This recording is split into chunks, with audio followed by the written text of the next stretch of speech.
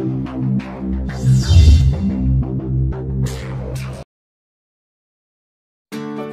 apa khabar semua? Video kali ini tentang cara membina pantun empat kerat. Terdapat empat perkara yang perlu kita patuhi sebelum membina pantun empat kerat.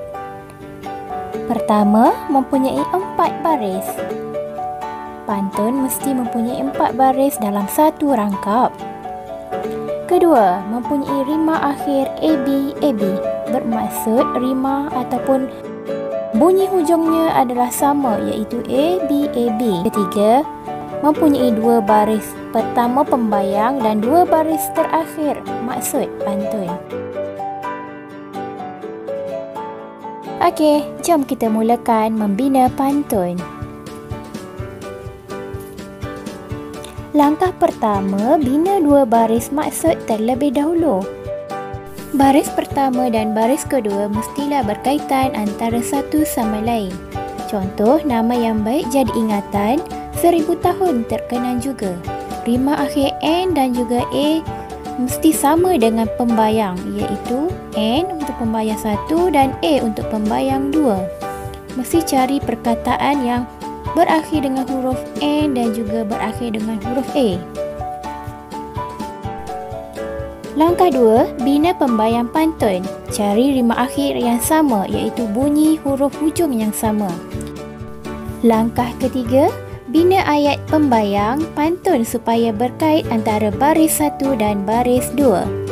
Contoh, contoh baris pertama perkataan setaman kedua jelita, ketiga ingatan dan keempat juga.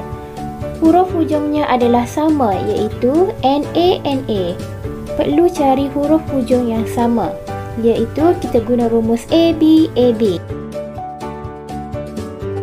Langkah terakhir, cari bunyi akhir bagi pembayang supaya sama dengan bunyi akhir maksud pantun untuk tambah baik supaya pantun lebih sedap didengar.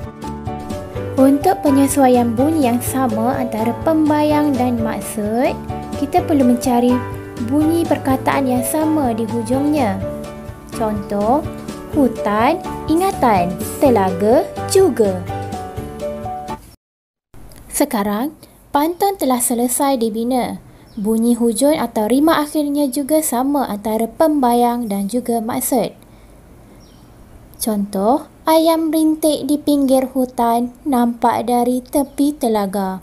Nama yang baik jadi ingatan, seribu tahun terkenang juga. Terimalah pantun hari raya dari saya. Alunan takbir di hari raya, mari kita bermaaf-maafan. Salam dikirim daripada saya buat semua tanda ingatan. Sebagai penutup, jom bina pantun. Sila bina pantun empat kerat bertemakan hari raya. Komen di bawah ini. Sekian, terima kasih.